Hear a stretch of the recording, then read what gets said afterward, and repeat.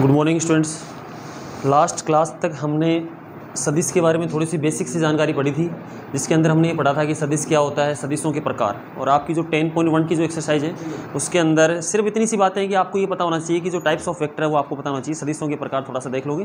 तो ऐसे ही क्वेश्चन है, उसमें यही पूछा गया है, जो मैंने करवा भी दिए हैं लास्ट क्लास में आपको, कि सदिशों के कौन कौन सा ये सदिश किस प्रकार का सदिश है, कौन सी राशि सदिश है, कौन सी राशि सदिश है? नहीं।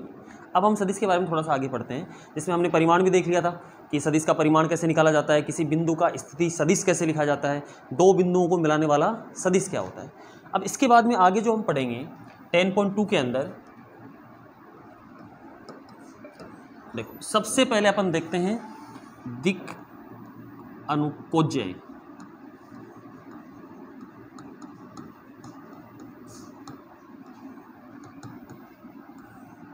डायरेक्शन है कोसाइन सबसे पहले देखो कि क्या होती है दिक्कोजाएँ ये आपकी जो अगली एक्सरसाइज आप थ्री पढ़ोगे, उसके अंदर भी इसके, ये काम आएगा। तो सबसे पहले अपन ये देखते हैं कि दिक्कोजय होती क्या है। तो देखो दिक्कोजय क्या होती है कि सबसे पहले जैसे मान लो कि ये है आपकी वाई एक्सिस थ्री के अंदर। ये एक्स एक्सिस और ये तीसरी एक्सिस है जेड एक्सिस ये तीन निर्देशीय एक्स हैं।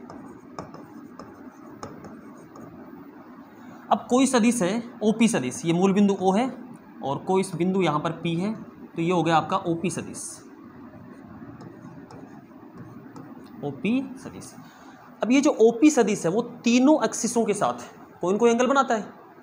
जैसे मान लो कि ये जो ओपी सदिश है, वो अक्स एक्सिस के साथ कौन बना रहा है अल्फ़ा वाई एक्सिस के साथ कौन बना रहा है बीटा और जेड एक्सिस के साथ ये एंगल बना रहा है गामा तो किसी भी सदिश द्वारा जो तीनों एक्सिस हैं, निर्देशीय अक्ष हैं अक्स एक्सिस वाई एक्सिस और जेड एक्सिस इन अक्षों के साथ जो बनाया गया कोण होता है वो कहलाता है दिक कोण क्या कहलाता है? दिक कोण यानी यहाँ पर जो अल्फ़ा बीटा और गामा है अल्फ़ा बीटा और गामा ये अल्फ़ा बीटा और जो गामा होते हैं, ये कहलाते हैं दिक कोण कहलाते हैं डायरेक्शन एंगल और इन कोणों की जो कोज्जाएँ हैं, या जो कोसाइन है, इन कोणों की cosine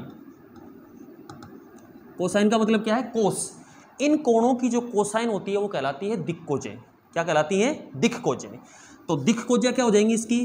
cos alpha cos beta और कोस गामा तो आपको इतना सा ध्यान रखना है कि ये सब चीज़ें छोड़ो आप ये अप, अपन अगले एक्सरसाइज में दोबारा से पढ़ेंगे। आप तो ये देख लो कि कोई भी जो सदिश है वो तीनों निर्देशी अक्षों के साथ जो एंगल बनाता है अल्फ़ा बीटा और गामा इसकी जो कोसाइन है इसकी जो कोसाइन है कोसाइन का मतलब कोस या दिक्कोजय तो ये कहलाती है कोस अल्फ़ा कोस बीटा और कोस गामा ये कहलाती है दिक्कोजय क्या कहलाती है? दिक्कोजय अब देखो, यहाँ पर जैसे मान लो कि आपको कोई सदिश दिया गया है, ए सदिश।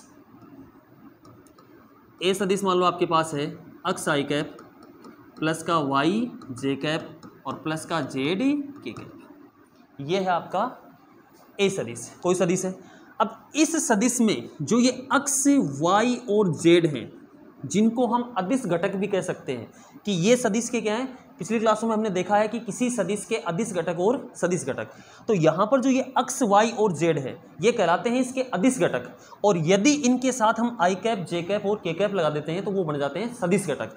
तो ये जो अदिश घटक हैं, ये कहलाएँगे अपने दिक अनुपात दिक अनुपात ये जो अदिश घटक है, वो क्या कहलाएँगे? यही कहलाएँगे इसके दिक अनुपात तो कोई भी सदिश अगर आपको दिया गया है तो उसके दिक अनुपात क्या होंगे? तो उसके दिक अनुपात हो जाएँगे अपने पास आप ये देख लेना कि उसके जो अधिस घटक हैं अक्स वाई और जेड ये कहलाएँगे इसके दिक अनुपात अब हम बात करते हैं दिक्कोजय की। तो दिक्कोजा के लिए हम क्या करेंगे?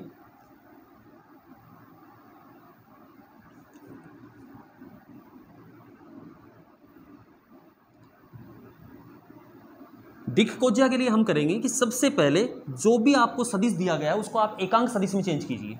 जो भी आपको सदिश दिया गया है, उसको आप चेंज करो किसमें? एकांक सदिश में। और एकांक सदिश में चेंज करने के बाद में, जैसे मान लो कि ये ए सदिश है ए सदिश की दिशा में एकांक सदिश आप निकालोगे तो एकांक सदिश हम पिछली क्लासों में हमने पढ़ा है। अपन क्या करेंगे कि ए सदिश के अंदर इसी के परिमाण का हम क्या करेंगे? भाग दे देंगे।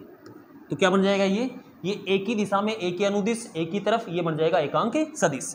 तो यहाँ पर अगर हम इसका एकांक सदिश निकालें तो a cap is equal to a सदिश क्या है? अक्स आई कैप और प्लस का वाई जे कैप और प्लस का जेड के कैप और इसमें ए के परिमाण का भाग देना है। परिमाण निकालना आपको आता होगा। ए का परिमाण क्या हो जाएगा? Under root x square plus y square plus z square तो इसका परिमाण हो गया अपने पास under root x square plus का वाई स्क्वायर प्लस का जेड स्क्वायर अब देखो यहाँ से अगर इनको अपन अलग अलग करें तो a cap is equal to क्या आ जाएगा? अक्स बट्टे under root, x square plus का वाई स्क्वायर प्लस का z square i cap plus y बट्टे अंडर रूट एक्स स्क्वायर और प्लस का वाई स्क्वायर और प्लस का z square into j cap और प्लस जेड बट्टे under root x square plus का वाई स्क्वायर प्लस का जेड स्क्वायर के कैप ठीक है? तो देखो इसके दिक अनुपात तो थे एक्स वाई और जेड ये तो थे इसके दिक अनुपात एक्स वाई जेड तो क्या थे इसके? दिक अनुपात और अब जो ए कैप के जो अधिस घटक हैं कौन कौन से हैं?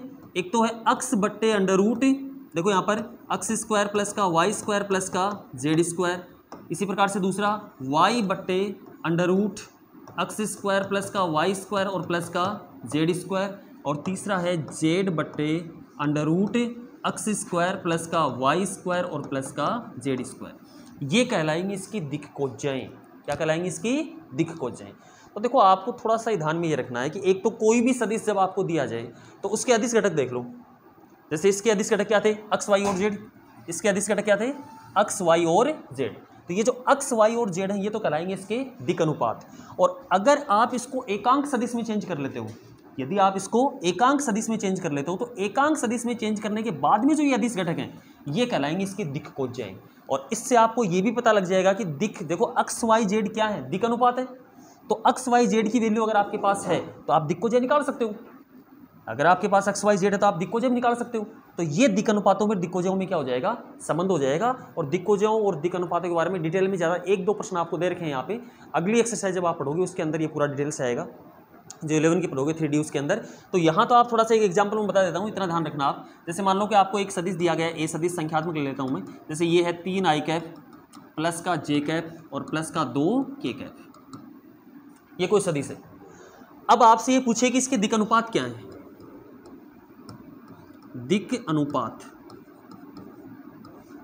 तो अगर इसके दिक अनुपातों की बात की जाए तो आप ये देखो, ए सदी सही अगर सदी सदी, उसके अधिक घटक कौन कौन से हैं? तीन, एक और दो। देखो यहाँ पर आई कैप के गुणा में क्या है? तीन जे कैप के गुणा में एक और के कैप के गुणा में दो। तो यहाँ पर इसके जो दिक अनुपात हो जाएँगे हो जाएँगे तीन, एक और दो। ये हो जाएँगे दिक अनुपात। और दिक अनुपातों को वैसे ए बी सी से लिखते हैं अपन, लेकिन यहाँ छोड़ो आप सब। तो आप ये देख लेना कि जो अधिस घटक हैं, वो क्या है? तीन, एक और दो हो जाएँगे। उसके बाद में अगर आपसे ये पूछे इसकी दिक्कोज्जाएँ क्या होंगी तो दिक्कोज्जा निकालने के लिए सबसे पहले आप इसको एकांक सदिश में चेंज करो। किस चेंज करोगे? एकांक सदिश में। तो एकांक सदिश में चेंज करोगे तो ए कैप क्या हो जाएगा भाई? एकांक सदिश में चेंज करने के लिए ए के अंदर उसी के परिमाण का भाग दिया जाएगा। तो ए सदिश क्या है? तीन आई कैप प्लस का जे कैप और प्लस का दो के कैप बट्टे ए का परिमाण। तो देखो, तीन, एक और दो। तो ए का जो परिमाण हो जाएगा, वो क्या हो जाएगा? अंडर रूट क्या होता है फॉर्मूला अपना? Under root x square plus y square plus z square. तो अक्स स्क्वायर मतलब तीन का स्क्वायर क्या हो जाएगा? नौ। उसके बाद में एक का स्क्वायर प्लस का एक प्लस जेड स्क्वायर, दो का स्क्वायर कितना हो जाएगा? चार। तो ये आ गया अपने पास अंडर रूट चौदह इकाई। कितना आ गया इसका परिमाण? अंडर रूट चौदह इकाई। तो जब हम ए के अंदर उसी के परिमाण का भाग देंगे तो ये क्या बन जाएगा? एकांक सदिश बन जाएगा। और ए कैप आपके पास जो आ गया, वो क्या आ गया बताइए? वो आपके पास आ गया तीन आई कैप और बट्टे अंडर रूट चौदह प्लस एक बट्टे अंडर रूट चौदह इंटू जे कैप और प्लस दो बट्टे अंडर रूट चौदह इंटू के कैप। ठीक है? तो यहाँ पर इसकी जो दिख कोज्जा होगी वो क्या हो जाएगी? तीन बटे अंडर रूट चौदह, एक बटे अंडर रूट चौदह और दो बटे अंडर रूट चौदह। ये कहलाएँगे इसकी दिक्कोजा कहलाएगी। और दिक्कोजा को एल एम एन से भी लिख सकते हैं अपन। और वैसे दिक्कोजा अभी मैंने आपको बताया था क्या होती है? कोस अल्फ़ा, कोस बीटा और कोस गामा। तो आप ये कह सकते हो कि कोस अल्फ़ा जो है, वो आ गया अपने पास तीन बट्टे अंडर रूट चौदह। और कोस बीटा जो है, वो आ गया आपके पास एक बट्टे अंडर रूट चौदह। और कोस गामा जो है, वो आ गया दो बट्टे अंडर रूट चौदह। दो बट्टे अंडर रूट चौदह। दिक्को को एल एम से भी लिखते हैं अपन। ये एल हो गया तीन बटे अंडर रूट चौदह। एम हो गया एक बटा अंडर रूट चौदह। और एन कितना हो गया? दो बटे अंडर रूट चौदह। तो आपसे सिंपल सा क्वेश्चन ये पूछा जाएगा। कोई सदिश आपसे देख रही है, पूछा जाएगा कि आप इसके दिक अनुपात बताइए, या फिर आप इसकी दिक् खोजे बताइए। वैसे दिक् खोजे होती क्या है? दिक् खोजा मैंने अभी आपको बताया है कि जो दिक् खोजा होती है, वो क्या होती है कि कोई भी सदिश जो है वो तीनों अक्सिसों के साथ, जो निर्देशी अक्ष होती है, अपनी अक्स एक्सिस वाई एक्सिस और जेड एक्सिस तीनों अक्सिसों के साथ जो एंगल बनाता है, उसकी जो कोज्जा होती है कोज्जा का मतलब किसको कहते हैं अपन? कोस को कहते हैं। कोज्जा किसको कहते हैं? कोस को या कोसाइन उसकी जो कोज्जा होती है, वही कहलाती है दिक्की कोज्जाएँ जैसे मान लो कि कोई सदिश है, वो अक्स एक्सिस के साथ बनाता है अल्फ़ा वाई एक्सिस के साथ बीटा और जेड एक्सिस के साथ बनाता है गामा कोई सदिश है वो अल्फ़ा, बीटा और gamma x axis, y axis और जेड एक्सिस के साथ अगर एंगल बनाता है तो इसकी जो दिक कोज्जा हो जाएँगे, उसको हम लिखेंगे कोस अल्फ़ा, कोस बीटा और कोस गामा। ये हो जाएँगी इसकी दिक्कोजें अब देखो भैया आगे। दिक अनुपातों में एक तो दिक्कोजों में संबंध वैसे तो हम देख चुके हैं, दोबारा से देख लो कि दिक अनुपात और दिक्कोजों में क्या संबंध होता है। दिक अनुपात व दिक पोजों में समन। ये संबंध हम प्रूव करना, आप देखेंगे, जब क्लासेस चालू होगी, तब देखेंगे। अभी आपके पास सीधा देख लो आप फॉर्मूला जैसे मान लो कि आपके पास कोई सदिश है जिसके दिक अनुपात आपको दिए गए हैं। दिक अनुपात क्या होते हैं? दिक को जाओगे समानुपाती संख्याओं को दिक अनुपात कहते हैं, कोई याद करने की ज़रूरत नहीं है आपको। दिक अनुपात दिक अनुपात मान लो आपको दिए गए हैं ए बी और सी ये किसी सदिश के दिक अनुपात है। अगर यहाँ से आप दिक को जो निकालो,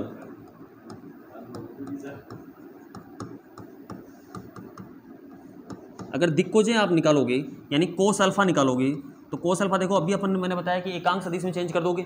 एकांक सदिश में चेंज कर दोगे तो वो दिक्कोजे ही होगी और एकांक सदिश में अभी आपने देखो चेंज किया है। जैसे मैंने इसमें लास्ट क्वेश्चन के अंदर मैंने ये माना था कि अक्स वाई जेड है। इसके दिक अनुपात क्या अक्स वाई और जेड तो अगर अक्स वाई जेड इसके दिक अनुपात थे तो इसकी दिक्कोजे क्या आई? अक्स बटा under root x square plus y square plus z square y बटा और जेड बटा। तो यहाँ पर भी देखो, अगर ए बी सी इसके दिक अनुपात हैं, अगर दिक अनुपात ए बी सी हैं तो इसकी दिक, पहली दिक् क्या हो जाएगी? ए बटा under root a square plus का बी स्क्वायर प्लस का सी स्क्वायर दूसरी दिक् जा कोस बीटा कोस बीटा हो जाएगा बी बटे under root a square plus का बी स्क्वायर प्लस का सी स्क्वायर और तीसरी को दिक् जा कोस गामा कोस गामा हो जाएगा सी बटे under root a square plus का बी स्क्वायर प्लस का सी स्क्वायर ये आपस में संबंध में ध्यान रखना, किसी ऐसे पूछे जाएँगे आपसे। कि दिक अनुपात देकर आपसे दिक्कोजें पूछ लेगा तो आप आराम से निकाल सकते हो, या तो आप ऐसा करो कि उसको एकांक सदिश में चेंज कर लो। कोई भी सदिश जो आपको दिया गया उसको आप एकांक सदिश में चेंज करो। एकांक सदिश में चेंज करने के बाद में जो उसके अधिस घटक होंगे, वो इसकी क्या कहलाएँगी? दिक्कोजय और दिक्कोजय होती क्या है? दिक्कोजय होती हैं कि कोई भी सदिश जो है, वो निर्देशी अक्षों के साथ जो एंगल बनाता है, उसकी जो कोज्या होती है, वो क्या कहलाती है? दिक् कोज्या कहलाती है। दिक अनुपात क्या कहलाते हैं? कि जो दिक्कोजाओं के समानुपाती संख्या होती है, वो क्या कहलाती है? हमेशा वो कहलाते हैं दिक अनुपात दिक और दिक्कोजाओं के बारे में हम आगे डिटेल में पढ़ेंगे। जब अगली एक्सरसाइज हम पढ़ेंगे, अगला चैप्टर हम पढ़ेंगे तो वहाँ पर हम ये भी देखेंगे कि कोई भी सदिश जो है, उसके अधिकतम कितने होते हैं? दो दिक्कोजय होती है, यानी दिक्कोजय हमेशा पैर के रूप में होती हैं, दिक्कोण हमेशा पैर के रूप में होते हैं, ये सब चीज़ें अपन डिटेल में आगे पढ़ेंगे इसके बारे में। यहाँ सिर्फ़ आपको इतना ध्यान रखना है कि दिक्कोजय और दिक अनुपातों में संबंध क्या होता है कि यदि आपको दिक अनुपात दे दिए जाएँ तो उसकी दिक्कोजा कैसे निकाली जाएगी? जैसे मान लो कि आपको दिया गया है, अभी हमने चर्चा भी क्वेश्चन किया भी है, ए सदिश बराबर, जैसे आपको दे दिया पाँच आई कैप, प्लस का जे कैप और प्लस का नो के कैप। अब आपसे ये पूछा जाए कि इसके दिक अनुपात क्या है? तो इसके दिक अनुपात हो गए पाँच एक और नौ। ये है इसके दिक अनुपात आप ये देख लेना कि सदिश है कि कैप है। कैप हो गया मतलब वो एकांक सदिश हो गया। अगर एकांक सदिश हो गया तो वहाँ पर वो दिक अनुपात नहीं होंगे, वो दिक्कोजय होंगे। तो या तो आप अलग से लिख लो कि इसके दिक अनुपात हो गए पाँच, एक और नौ। देखो ए बी सी का मान आ गया। ए बी सी का मान हो गया पाँच, एक और नौ। फिर आप तीनों क्या निकाल लोगे दिक्कोजय निकाल लोगे या फिर इसी को आप किसमें चेंज कर दोगे? एकांक सदिश में। एकांक सदिश में चेंज करोगे, कैसे करोगे? A cap is equal to क्या आ जाएगा? एक सदिश के अंदर उसी के परिमाण का हम क्या करेंगे? भाग दे देंगे। और परिमाण का भाग देंगे तो वो बन जाएगा एकांक सदिश। और एकांक सदिश के बाद में आपके पास यही आएगा। तो ये हो जाएँगी दिक्कोजें तो ये दिक्क अनुपात और दिक्कोजों में संबंध हो गया।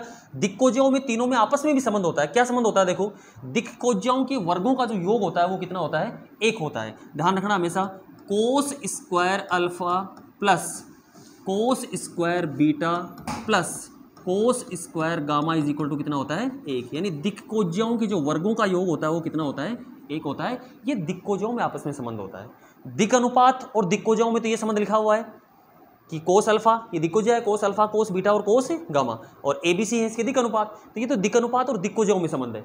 और दिक्कोजों में संबंध क्या होता है कि तीनों दिक्कोजों के वर्गों का जो योग होता है, वो किसके बराबर होता है? एक के बराबर होता है। आप ऐसा भी कर सकते हैं। अगर आपने दिक्कोजों को एल एम और एन से व्यक्त किया है तो जो दिक्कोजों वर्गों का योग क्या हो जाएगा? एल स्क्वायर प्लस का एम स्क्वायर और प्लस का n square is equal to कितना हो जाएगा? एक हो जाएगा। तो ये होता है दिक्कोजों में संबंध। तो ये दो छोटा प्रश्न बनेगा, इस पर ऐसा ही प्रश्न बनेगा, कोई सदिश देकर आपसे पूछा जाएगा, इसकी दिक्कोजय निकालिए या फिर आपसे दिक अनुपात, डायरेक्ट दिक अनुपात देकर फिर आपसे पूछेगा, इसकी दिक्कोजय निकालिए तो ऐसा प्रश्न इसमें बनता है तो थोड़ा सा ध्यान से देख लेना दिक कोजय और दिक अनुपात। और ये सेम चीज़ें अगले चैप्टर में दोबारा से आने वाली हैं आपके। दिक कोजय और दिक अनुपात, इनमें आपस में संबंध, ये सब कुछ आने वाला है। इस संबंध से हम क्या कर सकते हैं? कई बार ऐसा प्रश्न भी पूछा जा सकता है, जैसे कोस अल्फ़ा है, वो भी दिक कोजा कोस बीटा और कोस गामा यहाँ से आपको ये भी पूछा जा सकता है कि आपको दो दिक्कोजय दे देगा किसी सदिश के और आपसे पूछ लेगा तीसरी दिक्कोजय निकालो। तो अगर आपको दो दे दे, यानी यदि आपको कोस अल्फ़ा दे दिया और कोस बीटा का मान दे दिया, अब इसी रिलेशन से हम क्या निकाल सकते हैं? कोस गामा का मान निकाल सकते हैं। या फिर केवल आपको दो दिक्कोण दे देगा। भाई दिक्कोण दे दिया। मैंने आपको ये बोला कि कोई सदिश जो है, कोई सदिश है, वो तीनों निर्देशी अक्ष जो हैं, उनके साथ तीस डिग्री, पैंतालीस डिग्री और साठ डिग्री का कोण बनाता है। मैंने कोण दिया, मैंने दिक्कोजय नहीं दिए। कोण जो सदिश से तीनों अक्षों के साथ जो कोण बनाता है, उसको हम दिक कोण कहते हैं। तो ये दिक कोण है आपके पास, डायरेक्शन एंगल। ये है दिक कोण। अगर आपसे पूछे इसकी दिक कोज्या तो दिक कोज्या क्या हो जाएँगी? इन कोणों की कोज्या। कोज्या का मतलब कोस। तो ये हो जाएगा, इसकी दिक कोज्या हो जाएगी, कोस तीस डिग्री, कोस पैंतालीस डिग्री और कोस साठ डिग्री। तो ये हो जाएगी इसकी दिक कोज्या। ये थे दिक कोण, ये होगी दिक कोज्या इनकी वैल्यू निकाल लो कोस थर्टी की वैल्यू निकाल लो कोस पैंतालीस की निकालो और कोस साठ की निकाल लो। तो कोस तीस का मान क्या हो जाएगा? अंडर रूट तीन बटा दो कोस पैंतालीस का एक बटा अंडर रूट दो और ये एक बटा दो। तो अगर दिक कोण दिक कोजा अगर दिक कोण है तो आप सिर्फ़ कोस लगाना है तो आपके पास क्या आ जाएँगी? दिक कोजे आ जाएँगे। तो ये है दिक कोण और दिक कोजा